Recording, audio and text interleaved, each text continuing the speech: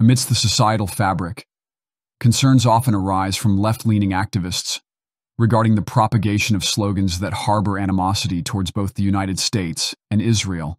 So I'm going to teach you a chant in Persian that you can use if you ever encounter those Zionist streets, whether they be Iranian or whatever. All right. Now I don't drink margaritas, but we all know what a margarita is. We all know what a bar is. So you're going to say Marg Bar. Marg Bar. Bar Israel.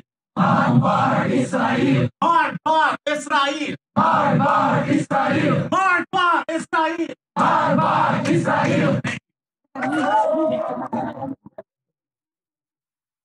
Oh, so that's uh, that's two meanings, depending on it can mean that's two or downward.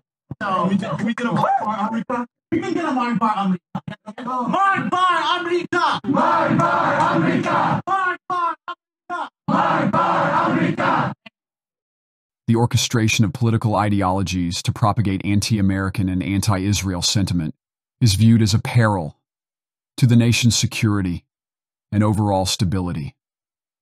Emphasizing the pivotal role of political polarization in fostering radicalization and extremism, the chance of death to America and death to Israel are categorized as symptomatic of broader ideological schisms. It necessitates concerted efforts to counter radicalization and foster a sense of national unity and security. This underscores the psychological repercussions of hate speech and instigation, with potential ramifications of nurturing animosity towards both the United States and Israel. Strategies are imperative to combat hate speech and safeguard individuals from ideological manipulation and radicalization.